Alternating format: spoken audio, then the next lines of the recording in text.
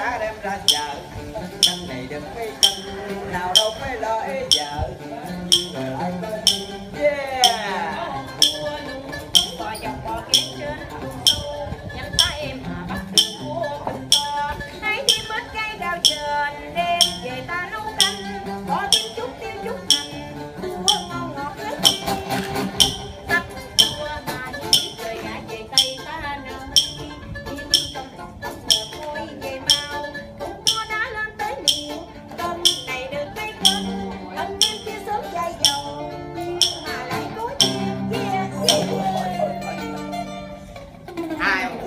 Cái bay xuống mương đổ cá hết trơn cả. Ủa?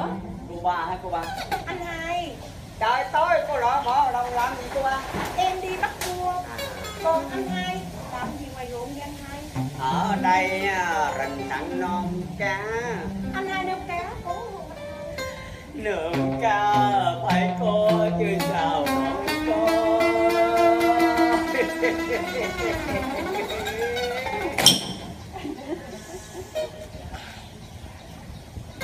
chưa muốn hỏi cô ba.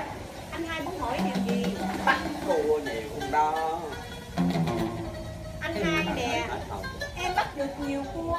Con nào con lấy? Bự bự không đó để tôi đếm thử nha cô ba. Dạ anh hai đi anh hai. One two three four five six seven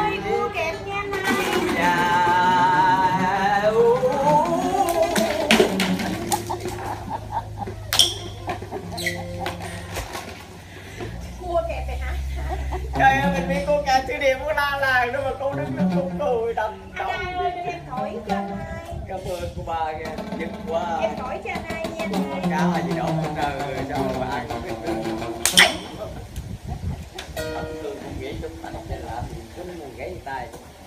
anh hai nè em bắt được nhiều cua nói đi cô ba. Mà em đem ra chợ em bán không có bao nữa đi cô ba nghe cô ba than mà cũng muốn rất từng vậy nghe cô ba đã than. Không mấy được chung nghe có chung mà cô phố đau để không nói được những quản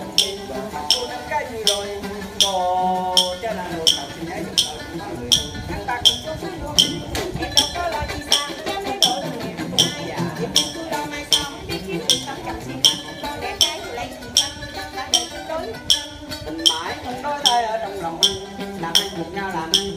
Cô đã thương thật lòng nhà cô.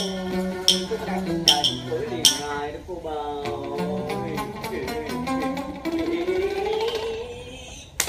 dạ. Trời tối thui rồi. Anh hai ở lại bắt cá em về nha anh hai. Khoan cho nói một điều cô ba? Anh hai nói điều gì nữa anh hai? I love you